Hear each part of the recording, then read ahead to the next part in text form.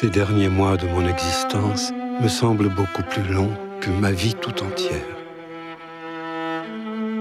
On dit que les philosophes et les vrais sages sont indifférents. C'est faux.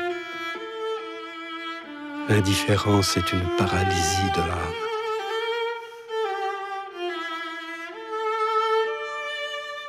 J'ai aimé enseigner.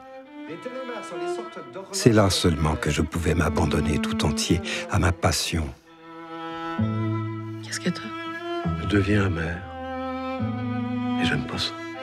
Elle vient jamais ici. Tu sais comment elle est? Tu es ma fille, mon amie. Je sais pas ce que je ferais sans toi. Je ne crois pas en Dieu. Et je le regrette. Je ne peux pas m'empêcher de penser qu'il me manque quelque chose d'essentiel, comme un élément de liaison qui ferait de ma vie un tout.